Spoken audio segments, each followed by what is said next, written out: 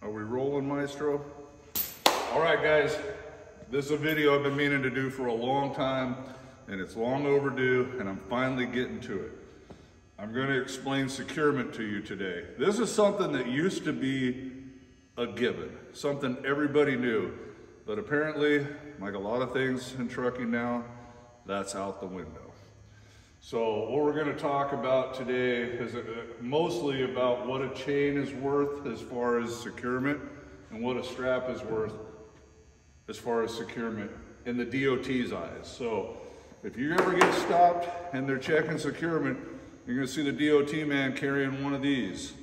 It's just a um, securement cargo tie down calculator and he's going to be checking your stuff using one of these and either a stamp on the trailer or this new trailer I got doesn't have a stamp, which is interesting. So I had to actually get on the internet, which I'm sure he could too, everybody's got a smartphone, and go to East website and get the securement values for pockets and spools and whatnot. Uh, my last trailer, Reitnouer, had uh, a stamp on it. Most trailers I've ever had, had a, has a stamp on it. This one does not. I'm not sure why that is. Uh, it's pretty much the same, although this manufacturer has some big differences, and we're going to talk about that. So let's do the strap. Now, you'll hear general rule of thumb, old school way of thinking is a strap is worth 4,000 pounds of working load limit. Okay, now, you times everything by two. So if you have 20,000 pounds worth of cargo, you need 10,000 pounds worth of securement. So what they would generally say is this is two ways guys would say it. It's worth 4,000 or 8,000. It's worth 4,000 pounds of working load limit, which is enough securement for 8,000 pounds worth of cargo. Now where they came up with that is two places. This chart, this is an old one, but the new ones aren't any different. You go to the back and you go to a four inch strap, it says 8,000 pounds, but you have to see where it says unmarked webbing or strap.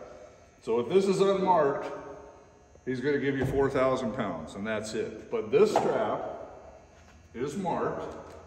Most of the new ones are, and they're, they're a lot stronger nowadays. And you can see this strap is actually worth 5,400 pounds. Can they see that? So 54,000 or 5,400 pounds working load limit. That's what working load limit. Or 10,800 pounds worth of cargo if there isn't a weaker link in the system. And what I'm talking about is the strap could very well be worth 5,400 pounds, but if this roller is only worth 4,000 pounds, which a lot of the rollers used to be, then it doesn't matter what this strap is worth. They're gonna go by the weakest link, where you're gonna tighten the strap up in this roller. However, this roller is, I think it was 5,500 pounds. The new, new trailers are a lot stronger. And look down here, this is a 5,500 pound roller, so it's actually worth more than the strap. But there's another thing, we gotta go to the other side of the trailer here in a second and look where you hook the strap. But real quick before we do that, on this trailer, this is kind of, this is one of the unique things. You'll see guys hook straps to the rub rail. Now, on a Reitnouer, it'll actually give you, I think it gave you five or 6,000 pounds to hook to the rub rail. For whatever reason, East does not want you hooking to the rub rail at all. And right here, it says, do not use rub rail. In parentheses, they call it a cart bar, which is for hooking bungees, to secure load. And if you go to their website, it says the same thing. So if you take a strap on this trailer and uh, do one of these deals like a lot of guys do. According to the manufacturer, and if the DOT man sees that or Googles it, I don't care if you have 10 straps on here, it's worth nothing because the manufacturer gives no credit for this rub rail on this trailer. So keep that in mind. Some trailers do. I don't hook to rub rails. I know a lot of guys do. Um, this trailer, do not do it because it's worth zero. It, it, it mitigates everything else and you're basically gonna have, if you did all your straps that way, you would have zero credit, like you were going down the road with no straps. So Let's go to the other side. And I think the, the strap hooks, I'll show you over there. Uh, they're 5,400 or 5,500, I can't remember, but let's go ahead and shut it off there and we'll go to the other side. Good to go? So here's where you hook your straps on this trailer.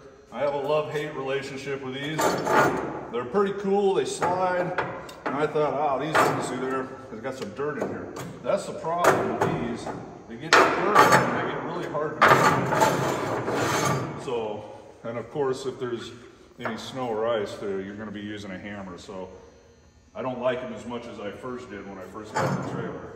Coolness is worn off and they're kind of a pain, but there is nowhere under here to hook a strap. You have to hook to these. Or to the rub rail that has a sticker that says do not use. So anyways, this is worth 5,400 pounds. So the strap is worth 5,400 pounds. That roller is worth 5,500 pounds. So the strap and this hook are the two weak links. They're equal, 5,400 pounds. So that strap, using this hook and that roller, is worth 5,400 pounds or 10,800 pounds worth of cargo. So the 4,000, 8,000 rule of thumb, although is safe because it's actually worth more than that and there's no penalty for using more securement than you need. But you're gonna actually gonna get 10,800 pounds worth of securement and the DOT eyes for that strap in this system. So uh, let's go ahead and shut it off and go back there and we'll go to chains. Going? All right, back to chains. So the DOT man gonna get his little thing out here. This is a 3 8 grade 70 chain. That's what I got up there. That's just one of my extras. This chain has a, they will give you on their chart, 3 eighths, let me get the slider to the right spot, grade 70, there we go. 13,200 pounds worth of cargo securement. So it has a working load limit of 9 by 2, 6,600 pounds, which would be handy because that's what a, two spools is worth. We'll get to that in a minute. So your chain is worth, has a working load limit and it's stamped on here as well of 6,600 pounds. You times that by two, it's worth 13,200 pounds worth of securement for cargo, total cargo weight. So had 20,000 pounds, this is worth 13, two of it. We're not, that's not an exact formula, so we'll get to that in a minute. Now that's the chain. Then you gotta find the weak link. There's three things in this system. You got a chain, you got a binder, and you got where you hook it, okay? They go by the weakest link. So the binder you don't have to really worry about these too much. This has a weight rating of 33,000 pounds. But you have to divide it by two because you got two ends to it on uh, hooks. So it's 15,000 something.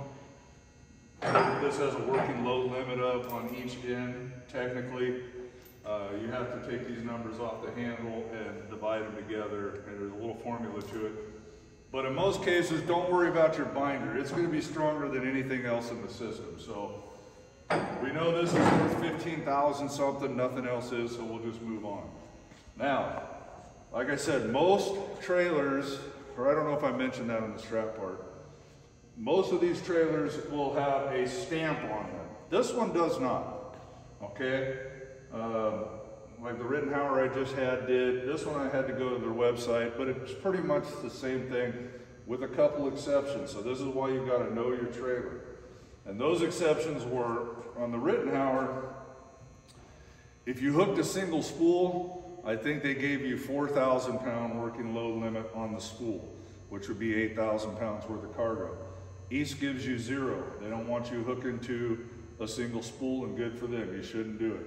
Also on uh, a Reitnouer and some other trailers I've had, if you combine a pocket and a spool, they would give you whatever, a certain amount.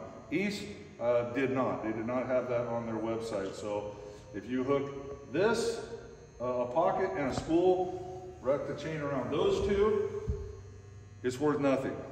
And of course, the rub rail is worth nothing. We covered that in the strap uh, bit part. So to find the weakest link, we're just gonna go over this real quick. The, the only way to get the full 13,000 200 pounds worth of cargo securement or 6,600 pounds working load limit. On this trailer,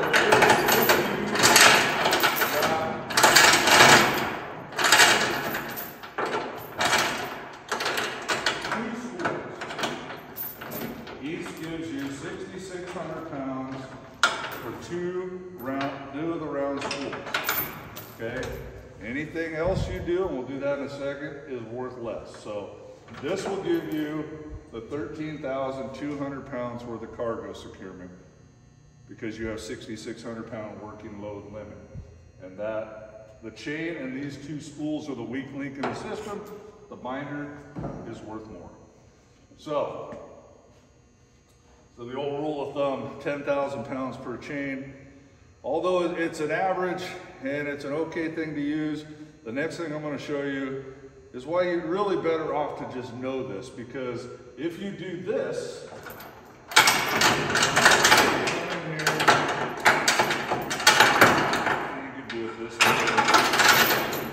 you come in here and you look, pocket, a lot of guys do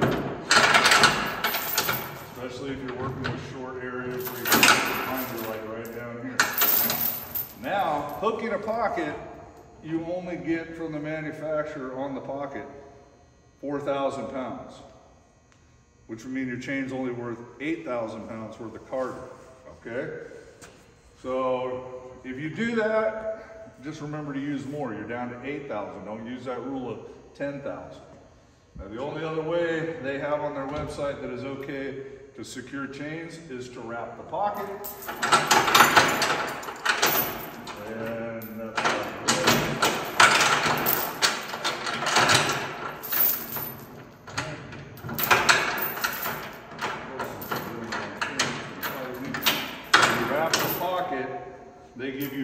500 pounds, or you would get 11,000 pounds worth of cargo securement. Uh, 5,500 pounds worth of working load limit, which is where you're gonna get closest to your 10,000 pound old school rule of thumb for a chain. But you can be under or you can be a couple thousand pounds over. Don't just get caught up on that 10,000 pounds because trust me, the DOT man's not, and if you hook that pocket, and you're thinking you got 10,000 pounds, you don't. You only got 8,000 pounds uh, worth of securement for your cargo or 4,000 pound working load limit. However you want to look at it. It's best to think cargo in my, my mind. You got a 45,000 pound coil, you're going to need five chains, okay? So even if you hook them all at 8,000, yeah, you would still have enough. Now you'd be 5,000 short, so don't hook them all on the pocket. Make sure you wrap at least one. So other than that, the only thing else I wanted to cover video really seems to be lost are two things. With all that said, you can't just take, so you got some real long plastic pipe that don't weigh nothing and you only need, according to this system, four straps and it's 50 feet long. You can't use four straps and here's why. The most you can be between securement points is 10 feet. And I showed you guys how to find that 99% of trailers, this one included, is two feet from the center of this pocket to the center of this pocket. It's 24 inches. So you, say you got a strap like right here or whatever, two, or wait, two, four, six, eight, ten, you need another one right here. I would actually do eight because if he gets out his tape measure and you're a little bit over here and a little bit over there and you're 10 feet, four inches, you're getting a ticket. So you still have to be within 10 feet of each securement. You can't have securement more than 10 feet apart. So the other thing I wanted to cover is what they call penalty strap. I don't think a lot of guys understand this. Uh, if you're running a flatbed that doesn't have a headboard or a headache rack, uh, even if it's all the way to the front of the trailer, you have to have what they call a penalty or a ghost strap which is two straps or two chains, whatever you're using, within the first five feet so that they're two feet apart, okay? Um, even if you have a headboard or a headache rack, if you're more than 10 feet off of it, you have to have the penalty strap. So if you can see guys uh, like when I haul roofing shingles. They're like way back here. They're way more than 10 feet off. So I have to have two straps on those front two pallets and they'll be within two feet. You can't just throw one. So at a bare minimum, you need to throw two. You can single the rest all the way back out if you want. Most guys, myself included, will put two straps on the back one as well. But since you're 10 feet off the headboard, you gotta have two straps within the first five feet, AKA penalty strap. That's all I got, man. I hope I explained this right. Um, if I missed anything or misspoke, which I do a lot, I will have him type it up as I'm talking through the video to try to correct it so I don't confuse you even more. Hope this helped. You got any questions, ask in the comments. Got any other videos you want to see or things you don't understand, uh, let me know. All right, y'all. God bless you.